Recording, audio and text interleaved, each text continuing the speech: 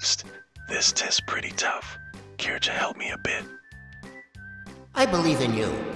All right, now I can do this.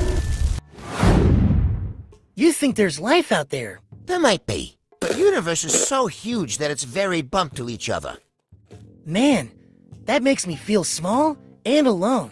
At least we are alone together. Eight, nine, ten.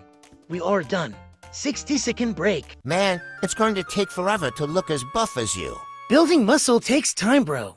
But as your friend, I can see that you have trained the most important muscle Wow, that's that. your heart. Finally, I got to read this thing. I can't wait to talk about it with Nerd. Hey, bro. Whoa. What's happened to you? Being a nerd was boring, so I'm a bad boy now. But I was looking forward to our discussion of underlying themes of this classic book. Reading is for nerds. Smell you later, Doc.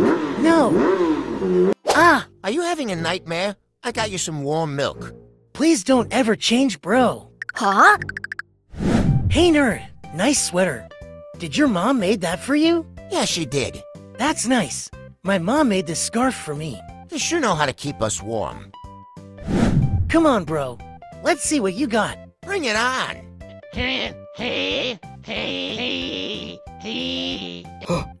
Don't hold back. Oh man, drop my guard there for a second. You have gotten stronger, bro. Well, I have been watching a lot of sport anime lately. Phew, I have been studying since morning. I really need to cool my head for a bit.